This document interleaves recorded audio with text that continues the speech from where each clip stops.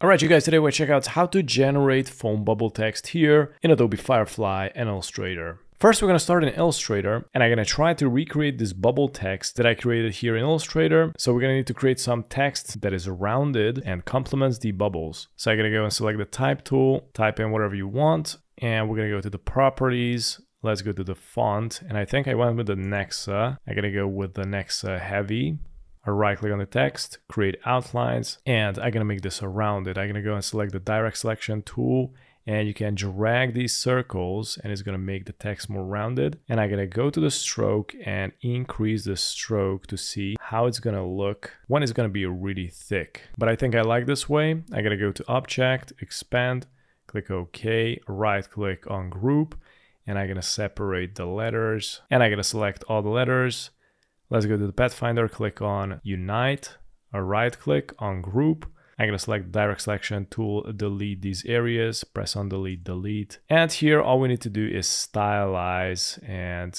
make it even more rounded. I'm gonna do these real quick and I'm gonna create some caricatures out of these and make the letter E more prominent. I'm gonna make the anchor points rounded, convert, and stylize. I'm also going to customize these straight lines so it won't be too straight. From here, rearrange the letters and I'm gonna select these two letters, unite them at the Pathfinder and with the direct selection tool, I'm gonna make it rounded as well. Now let's add the circles. I'm gonna select the circle tool, press and Shift plus Alt, create a circle.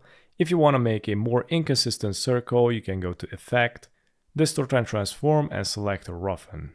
And here we're going to select the smooth. You're going to decrease the details. It is going to make a more inconsistent circle. Click OK. Now make sure to export it as a JPEG. Now we're going to go to Adobe Firefly. Let's go to aspect ratio, change it to square, content type photo, scroll down, select hyperrealistic, and we're going to type it to the prompts. Iridescent foamy bubble isolated on blue sky. Now let's click on try prompt and here we got some really good looking foamy bubbles. I really like this one. So I'm gonna go here to edit, click on use as style reference. We're gonna go back to the aspect ratio, change it to landscape. Let's go to the composition reference, upload image, and we're gonna go and select the bubble text that we created. Click on open, continue. Make sure to increase the strength to 100%.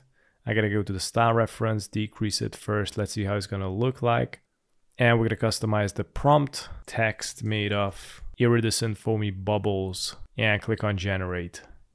And we got success. This actually came out pretty good. I mean, I can push this idea on a whole new level. Actually, this one came out pretty okay. I'm gonna download it and I'm gonna go to the strength, maybe increase it to 100% and click on generate. And here we got even better results and just go to edit, use a style reference and click on generate. By the way, the settings are on zero here and the results are pretty decent. And pretty much this was it for today, guys. Thanks for watching.